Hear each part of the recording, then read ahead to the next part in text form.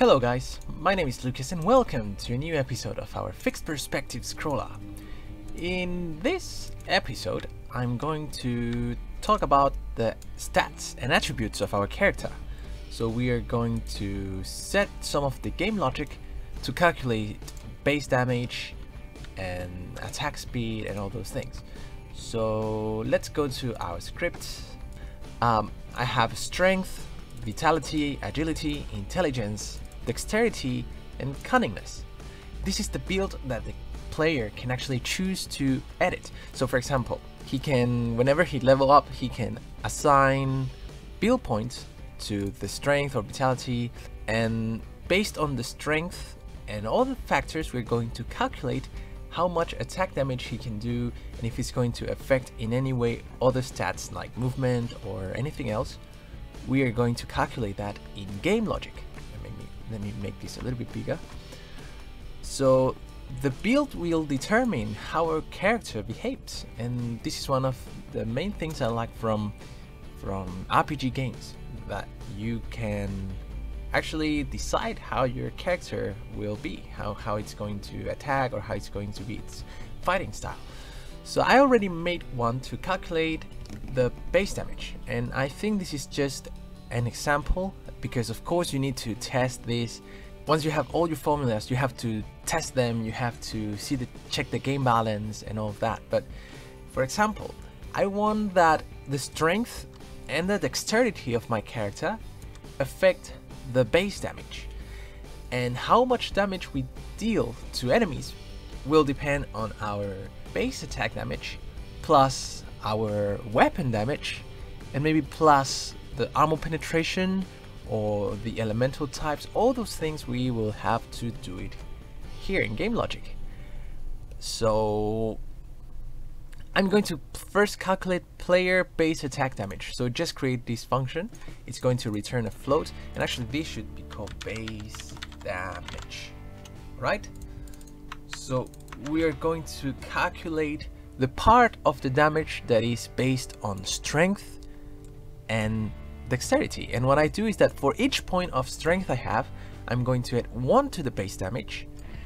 And for each 10 for each 10 strength points I have, I'm going to add 3 more to my damage. Or we could do something different, maybe 20, I don't know. We need to test it to know. So I'm going to start with 3. And then finally, for every 3 dexterities, dexterity points we have, we are going to add 1 to the damage. The damage, the base damage of our character. So how does this work? What is math floor? Math floor just rounds down the to the closest integer. So if I have player strength, I'm saying, okay, for example, I have 20 strength. 20 divided by 10 is 2, and I'm going to multiply 2 by 3, so it's 6. So I have a 6 bonus uh, attack damage. And if I have 25 strength, 25 divided by 10 is 2.5 and the nearest lower integer is 2, 2.52.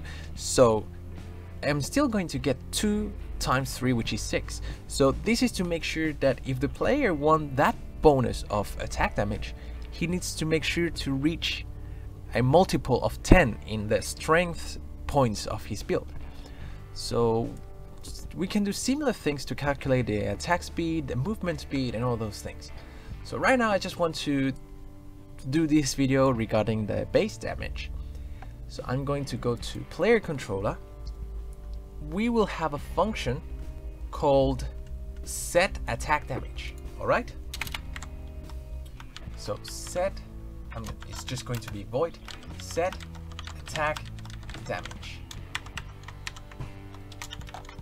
And this function is going to be called every time we change weapons or we receive a buff from other player or we eat some food that gives us uh, new stats every time the stats or or something in our inventory I mean equipment is changed we're going to set the attack damage because we want to make sure that if I uh, change my weapon to a stronger one we want to update the amount of damage we deal.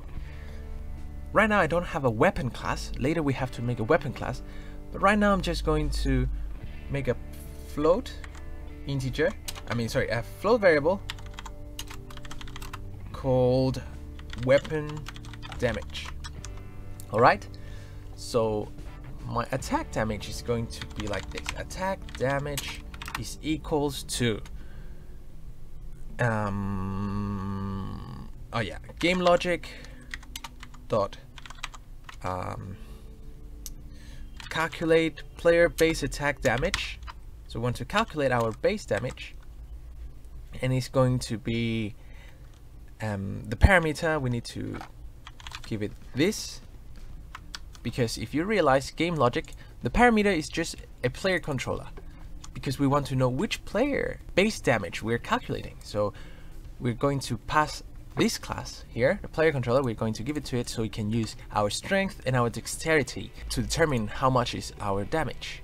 This we need to add the weapon damage.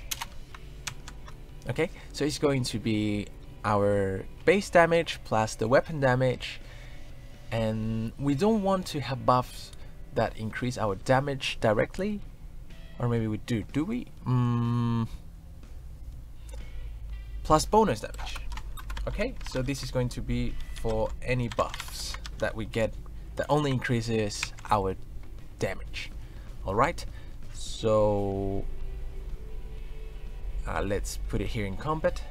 Another float and actually we should make this um, public. Just for now because we want to set them in the inspector. So only for now. Later we, we, we need to set them back to uh, private. So public float bonus damage. This is not if we have an aura from a friend or we eat a food that increases our our damage we're going to set it in bonus damage so attack damage equals game logic calculate base attack damage. This plus weapon damage plus bonus damage. And we're going to run this on start. Set attack damage. We're going to call this on start and every time we keep equip a weapon, every time we get a buff, every time we think we have the possibility to change our attack damage, we're going to call this function. Alright, so now let's see if this actually works. Now, if I see my player controller, you'll see we have the weapon damage, the bonus damage. I also need to make my strength and my dexterity. I'm going to make them totally public now. Oh, and by the way, this, whenever you make a public public variable and then you add this at the end, that means that we can get it publicly, so we can get it from any other class, but whenever we want to set the value of this variable, we need to set it from within this class. So this is very useful when you want to have things like like these build points, these build stats. We just want to allow player controller to set the amount of vitality, strength, etc. So, right now I just comment that part so that I can adjust it from the inspector. And you'll see we have strength and dexterity. Now our attack damage is 9 and if we press play it should go to 0 because our strength is 0 our dexterity is 0 and our weapon damage and bonus damage is 0 so if I attack the mummies they're not going to die because we're dealing 0 damage what I'm going to do now is just going to set some random stats, so like 5 strength and 3 dexterity, our weapon damage can be 10, and we have no bonus damage because we have no buffs. So now if we go, and actually you see the attack damage got calculated to 16. So now if I hit it a couple times, it died. It died, I think faster than what we usually get. If I have 8 attack uh, strength, our attack damage is 19. If I have 9 strength, our attack damage is 20, so it just increased by 1. But once that we reach the multiple of 10 here, once we reach that, we will get some bonus damage.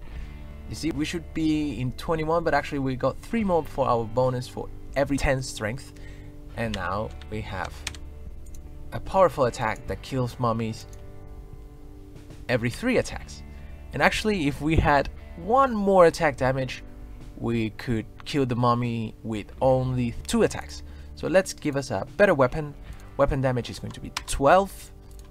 And now we play, you see we have 26 attack damage. Those mummies have 50 health, so I'm going to slash it and two hits and he's dead. So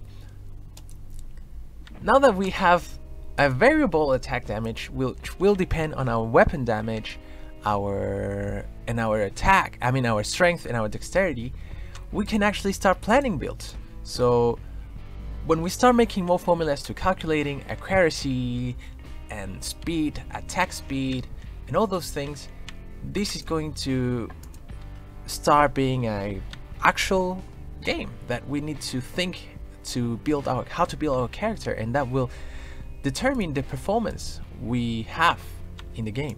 So uh, I think I probably will do a different formula to calculating range damage because I don't want that um, a range like an archer can hit with melee weapons and make lots of damage. So uh, we'll think of that. But I'm going to update you guys when I make the rest of the formulas and I'm going to show them to you and and you can try to do your own meanwhile just do it do them here in game logic and see what factors you want your game to consider when you calculate the attack damage and how I uh, saying for example vitality will determine your your health your total health and maybe your defense or something like that. And defense can also count, just like uh, attack damage also counts the weapon damage, your defense should also consider the amount of defense that your armor has, etc. So go try it, do your own formulas, tell me how it goes. If you have any question, please let me know in the comments. Thank you very much for watching, I quite enjoyed making this video, and I will see you next time. Goodbye. Peace.